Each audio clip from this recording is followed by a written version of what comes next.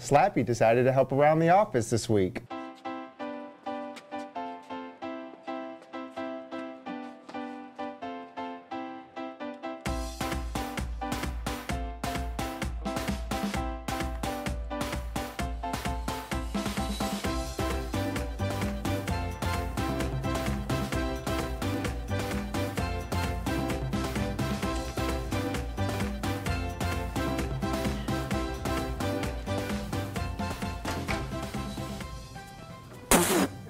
Who made this coffee?